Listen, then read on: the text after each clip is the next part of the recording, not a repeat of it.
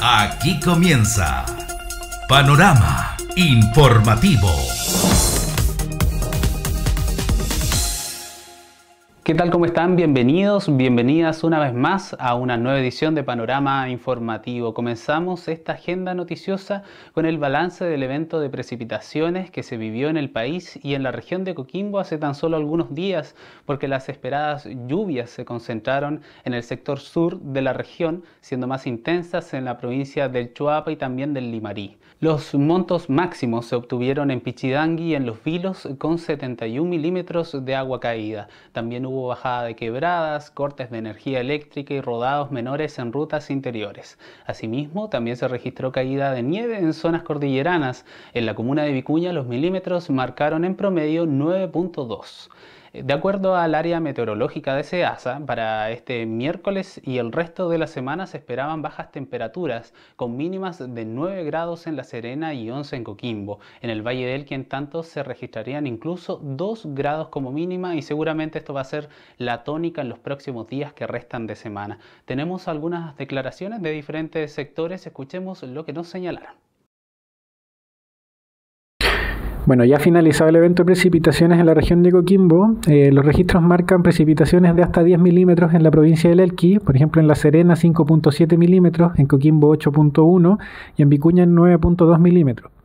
Más al sur, en la provincia del Limarí, se registraron entre 10 a 20 milímetros acumulados, eh, a excepción del parque Fray Jorge, donde se registraron hasta 30 milímetros de, precipitación.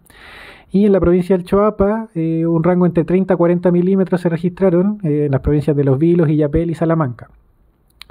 Eh, en cuanto a la nieve, eh, se registró en la cordillera del Elqui entre 4 a 6 centímetros, eh, en el Limarí entre 15 a 20 centímetros y en el Choapa cercano a los 30 centímetros de nieve.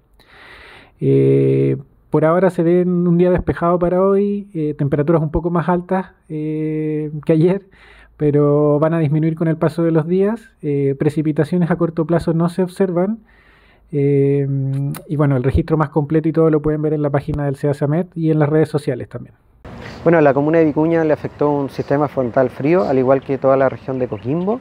El balance es más bien positivo respecto a la, caída de precipitaciones líquidas en los alrededores de, Vicuña. Por ejemplo, en Vicuña cayeron eh, del orden de 9, 9,5 milímetros y en algunos sectores puntualmente 15 a 16 milímetros, por ejemplo en Algarrobal y en San Isidro. No así en, la zona más precordillerana de la comuna, porque allí se registraron escasas precipitaciones, inclusive poca cantidad eh, de nieve acumulada, eh, restringido explícitamente en el sector de alta cordillera. En tanto sí hubo eh, nevada en algunos sectores cercanos a Vicuña, puntualmente en sectores de, cerros. Respecto a incidencias producidas por, por las precipitaciones líquidas caídas durante el día de ayer, se reportó un anegamiento menor en la calle José Miguel Carrera Sur, esquina Dolores Pinto, el cual fue eh, solucionado eh, por personal municipal. También se registró de manera informada eh, dos afectaciones en dos domicilios, producto de filtración de agua lluvia en la techumbre de estos domicilios, lo cual fue resuelto con la entrega de nylon y también se registraron algunas incidencias eléctricas con respecto a cortes en el tendido eléctrico entre poste y medidores eh, domiciliarios, lo cual han sido resueltos y se está resolviendo por parte de la empresa eléctrica CGE. Bastante optimismo con esta precipitación eh, en este mes de mayo, eh, frente a toda la crisis hídrica que estamos sufriendo como región, estas precipitaciones nos dan ánimo para poder seguir esperando más precipitaciones, el aumento ¿no cierto? de precipitaciones en el lado sur de nuestra región también marca un presente bastante positivo lo que nos significa a nosotros el poder visualizar eh, este año con un poco más de esperanza, ¿no es cierto?, frente a lo que significa el recurso hídrico. En términos generales fue un, evento eh, calmo, gracias a Dios no hubieron eh, fallecidos, que es lo, relevante. Los servicios funcionaron de acuerdo a sus competencias y los niveles locales también trabajaron bastante bien. Bueno, en relación a eso, la Dirección Meteorológica de Chile durante el transcurso de la noche fue cancelando cuatro de las cinco alertas que manteníamos en la región, dejando hoy día permanente solamente la alerta temprana preventiva por heladas. Esta estaría vigente hasta el día de mañana. En este caso, las recomendaciones. Bueno, siempre, siempre es bueno que si van a transitar por caminos precordilleranos, cordilleranos, dada la edad, lleven sus cadenas, ¿verdad? Además de la gente que eh, hace uso, digamos, de tipos de calefacción como carbón o brasero, tenga las precauciones necesarias. Y además de eso, mantener un estado de eh, abrigo, digamos, para poder transitar. Y ahora pasamos a otros temas. El municipio de Vicuña financió la pavimentación de calles en las localidades de Rivadavia y El Tambo. Las y los vecinos de los sectores que habitan en estos puntos intervenidos agradecieron la materialización de un anhelo por décadas. Estuvimos en los dos pueblos, conozca los detalles en la siguiente nota. Polvo al interior de sus casas, anegaciones cuando llovía y accesos en malas condiciones. Esa era una realidad histórica que ya está cambiando para los vecinos y vecinas que viven en los alrededores de la calle Los Jardines en Rivadavia y del pasaje San Rafael en el Tambo, gracias a las obras de pavimentación financiadas por la Municipalidad de Vicuña con recursos propios. Obras que superan los 114 millones de pesos de inversión que se enmarcan en un plan de conservación que impulsó el municipio alquino para dar soluciones a diferentes sectores de la comuna de Vicuña resultados que fueron visibilizados por las y los vecinos de los sectores intervenidos, del alcalde Rafael Vera Castillo y de equipos municipales de la Secretaría Comunal de Planificación SECPLAN de Vicuña en una visita realizada el pasado viernes 3 de mayo.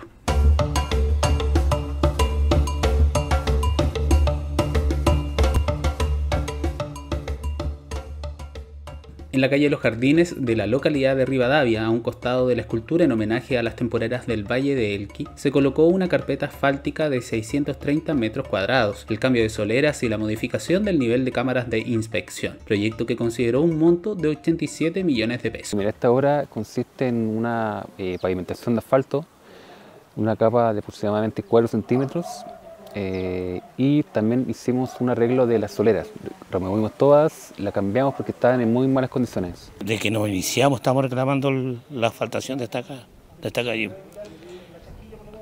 Antes Guamán había otro alcalde, eh, no, me acuerdo muy bien él, pero a, don Fernando también se comprometió muchas veces, bueno, por gestiones, como dice él, de burocracia de arriba, no se hizo, pero ahora él lo logró es importante para nosotros. Y súper contento de que esta obra se pudiera materializar porque los vecinos hace tiempo que estaban pidiendo que le solucionaran este problema y nuestro alcalde se comprometió a hacerlo y por fin llegó el momento y, quedó pavimentado y quedó muy, muy bonito y ya la gente, como decía el alcalde, no va a estar luchando tanto con el polvo que se le, que se le entra a sus casas, ni en invierno el barrial, estar poniendo manguera, motobomba para poder sacar extraer el agua de acá que queda. Sí, la verdad es que nos demoramos bastante tiempo en este compromiso que teníamos con los vecinos porque teníamos que tener las autorizaciones del Servio, nos pidieron especificaciones técnicas, estudios, diseño para poderlo hacer esto, pero con recursos municipios, 100% con recursos municipales pudimos pavimentar esto.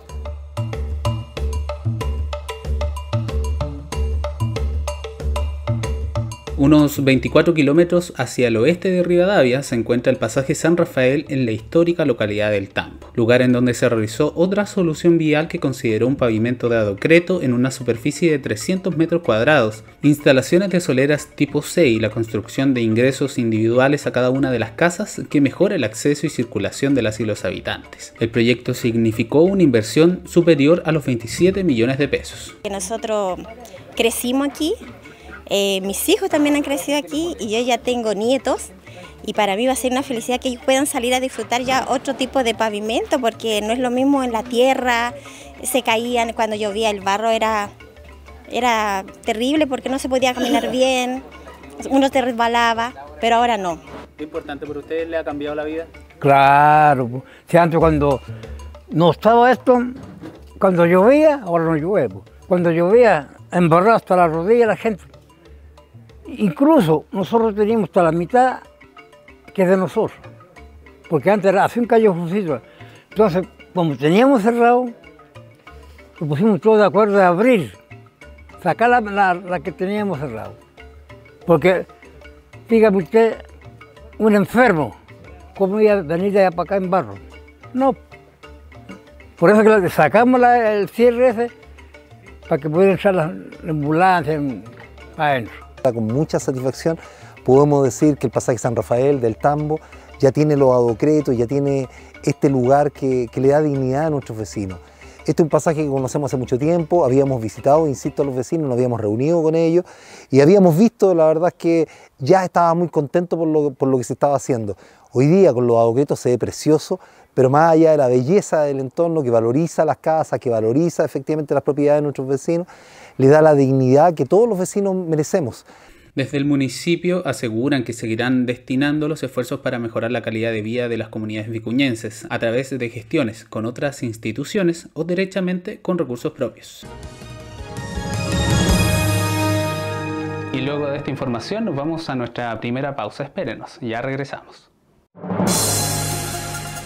Estás viendo Panorama Informativo.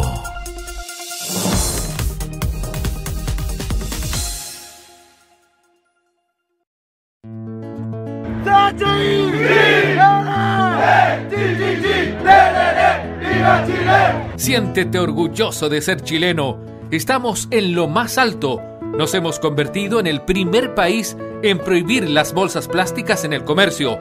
Este 3 de agosto comenzó a regir la ley de cero bolsas plásticas en el comercio. Lleva tu bolsa reutilizable y salvemos juntos el planeta. Es un mensaje de tu municipalidad de Vicuña. La droga mata. Destruye niños, jóvenes, familias y sueños. Hoy somos número uno de América en consumo de marihuana, cocaína y pasta base. Entre todos tenemos que cambiar el rumbo y también la historia. Por eso, además de combatir con fuerza el narcotráfico, debemos prevenir que niños y jóvenes caigan en la droga y rehabilitar a los que ya cayeron. La mejor arma contra las drogas es que los padres conversen con sus hijos. Escúchalos, guíalos. Infórmate del nuevo Plan Nacional. Elige vivir sin drogas. Ministerio del Interior y Seguridad Pública. Gobierno de Chile. Amor. ¿Quién es Manuel? ¿De la pega? ¿Y en qué trabaja? Mm, ¿Y por qué te llama tanto? Te voy a revisar el WhatsApp. Dame tu clave de Facebook o tienes algo que ocultar. ¿Y la de Instagram?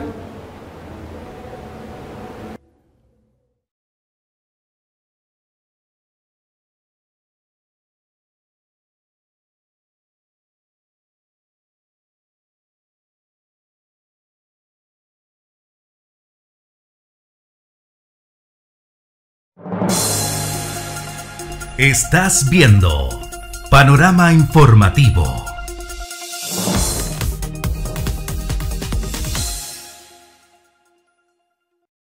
Ya estamos de vuelta y pasamos a materias deportivas porque la escuela Kempo Karate de Vicuña participó de un torneo internacional en Santiago en donde sus integrantes obtuvieron importantes resultados. Les contamos más en el siguiente informe. Conocido como un arte marcial de origen japonés, el karate es considerado un deporte olímpico que busca el dominio de técnicas de autodefensa. En la región de Coquimbo existen destacados exponentes y escuelas que practican esta disciplina oriental y nuestra comuna de Vicuña no es la excepción, pues también se cuenta con deportistas de nivel. Es el caso de la escuela Kempo Karate, que enseña en la actualidad a personas desde los 7 hasta los 42 años de edad, abierto siempre a recibir nuevos integrantes. Durante la última semana participaron en un torneo internacional en Santiago en donde obtuvieron excelentes resultados. Así lo dio a conocer uno de los instructores de la academia, Jordan Ardiles, quien además agradeció el apoyo entregado por la municipalidad. Estamos satisfechos porque dieron muy buenos resultados los chiquillos, pues muy comentaban en Santiago de, lo fuerte que golpeaban estos niños. Quiero dar las gracias por el reconocimiento que se les dio a nuestros muchachos que fueron al campeonato eh, internacional Huaco en Santiago y que trajeron hartas medallas, hartas medallas. Visión similar tuvo el también instructor Felipe Cepeda, quien valoró el nivel mostrado por la delegación compuesta por 15 alumnos en el campeonato de Santiago. Lo que se realizó en Santiago, lo que bueno, fue un campeonato más que todo internacional, pero igual contó con varias personas eh, de la misma región, contamos con nosotros. Eh, fue una experiencia muy grata ya para todos. También contó con, ¿cómo se esto? con servicios de paramédicos, estaba todo súper bien, súper cuidado. Para la joven deportista de Vicuña, Montserrat Zurita, fue una gran experiencia la vivida en la capital. Eh, la experiencia fue buena, algo nuevo, eh, buena experiencia. Y a mí eh, me fue bien, bastante bien. ¿Sí? Sí. ¿Te gusta este deporte? ¿Cómo llegaste a él? Sí, llegué a través de mi papá. Él siempre había querido que yo estuviera en arte marcial, así que hay unos contactos y llegué. tenemos grandes expectativas de llegar a ser internacionales y ir cada vez avanzando más, proyectos más grandes. El alcalde protocolar de Vicuña, Keter Gómez Pastén, recibió a los deportistas para felicitarlos y hacerles entrega de un galvano reconociendo su gran participación en Santiago, anticipando además que se le apoyará en la organización del torneo del mes de junio. Sí, sí, nos hemos reunido ya con, eh, con el presidente de la agrupación, Felipe Orellana, eh, ya hemos comprometido algún apoyo, preparar un campeonato de estas características requiere harta logística, eh, paramédicos, tema de alimentación, el mismo espacio, internado, eh, ellos también están, enviaron una solicitud al municipio pidiendo una subvención extraordinaria, la cual va a pasar por consejos municipales. Esperemos que los concejales también aprueben esta, esta moción para poder de alguna forma colaborar en la preparación de este campeonato. Como te digo, es un aporte porque preparar un campeonato de estas características requiere eh, mucho mayores recursos y el compromiso de todos los padres apoderados para que el campeonato se, se desarrolle de la mejor forma posible. De esta forma, Kempo Karate de Vicuña se prepara para la participación y organización del torneo nacional que tendrá lugar en la Comuna Elquina el 29 y 30 de junio en el Polideportivo Carlos Munizaga Miranda. Y este martes 7 de mayo, en el sector de Peralillo, en la comuna de Vicuña, se realizó una capacitación sobre uso correcto de maquinarias y equipos agrícolas y de las nuevas herramientas que se encuentran en el mercado. Una iniciativa organizada por el municipio Elquino dirigido a las y los usuarios de los programas Prodesal PADIS, en la que participaron cerca de 40 personas, instancia que estuvo protagonizada por la empresa EQA, representante oficial de Steel que comercializa equipamiento en el área forestal, agrícola y de jardín una capacitación que forma parte del plan de acción de la oficina que coordina los programas en Vicuña, ejecutado por el municipio del Quino. Escuchemos lo que nos dijeron en la ocasión. Y es una muestra, una exhibición de maquinaria. Eh, son maquinarias pensadas para la pequeña agricultura, para terrenos pequeños. Ya en el fondo es para que aprendan a usarla de manera correcta, ya que muchos de ellos ya han obtenido a través de proyectos de inversión financiados por INDAP que se concursaron ya obtuvieron las maquinarias, pero en esta, esta es como una parte de capacitarlos en el uso de estas mismas y también para que conozcan productos nuevos que tal vez puedan incorporarse. Yo agradezco la oportunidad que nos dan de conocer la, la maquinaria y además eh, hay muchas que ya conocemos, que sabemos que existen, pero también actualizar los conocimientos, porque también se han implementado, por ejemplo, en el tema de las aplicaciones, en nuevas boquillas, nuevos aparatos que realmente nos hacen que sea más fácil la vida del agricultor. Me ha parecido bastante buena la capacitación, algo que uno no sabía, o sea, o tenía conocimiento muy poco. Pero con esta capacitación uno queda más, más enterado de las cosas. Por ejemplo, en el caso mío hay algunas que compré con mis propios recursos y otras que postulé por el, por el INDAP.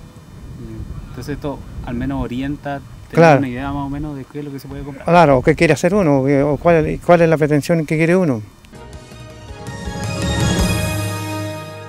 Y con estas imágenes nos vamos a nuestra segunda pausa. Enseguida estamos de vuelta. Estás viendo Panorama Informativo.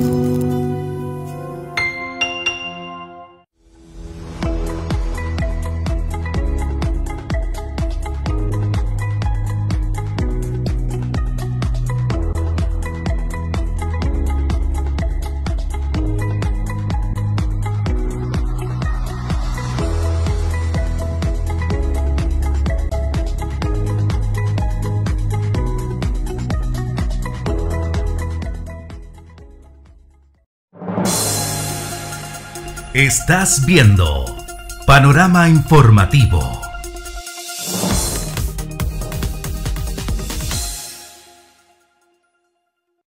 Ya estamos de vuelta y continúan las buenas noticias en la comuna de Paiguano en materia de seguridad, porque a la recientemente creada Unidad de Seguridad y Emergencia Municipal, esta vez se suman la instalación de nuevas cámaras de televigilancia de última generación en Pisco Elqui y además la incorporación de dos nuevas camionetas eh, que velarán por seguir resguardando la seguridad tanto de vecinos como de turistas. En concreto, la comuna Elquina ahora va a contar con dos nuevas cámaras de última generación y dos nuevos vehículos que van a apoyar la la labor de inspectores municipales y carabineros. Tenemos algunas reacciones, escuchemos lo que nos dijeron.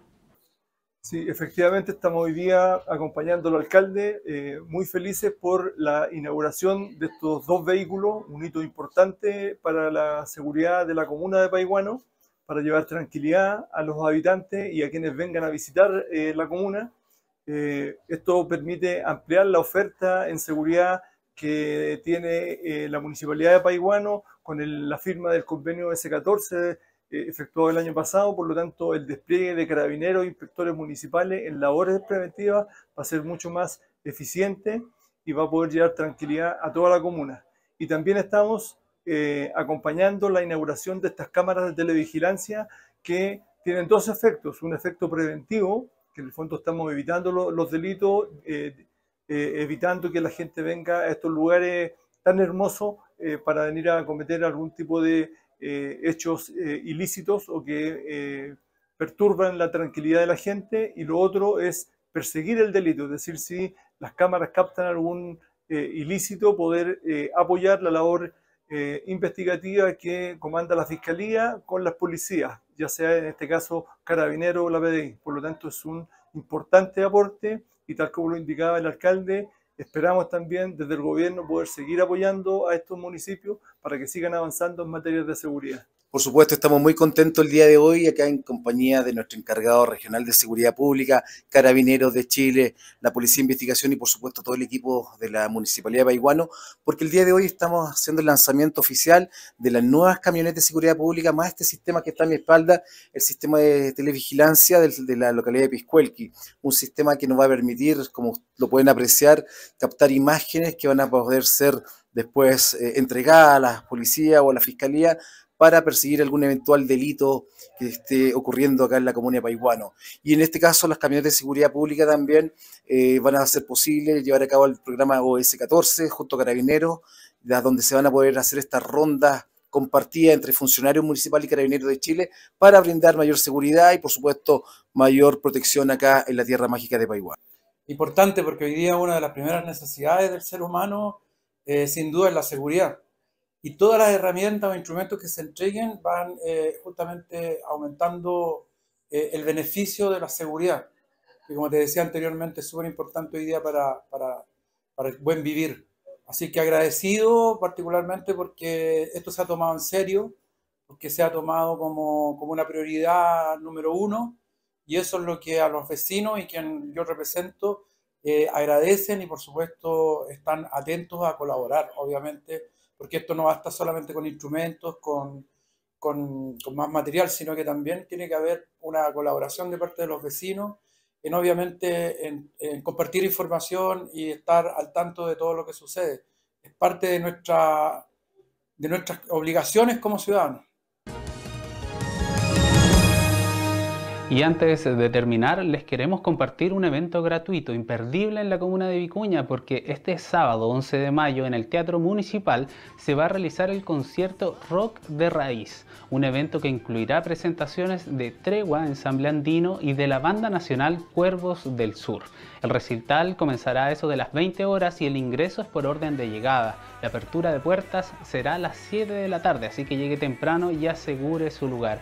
Invita por supuesto a la Corporación Cultural Municipal de Vicuña. Y de esta manera nos despedimos. Que estén muy bien. Nos volvemos a encontrar en una próxima oportunidad. Hola amigas y amigos de Vicuña.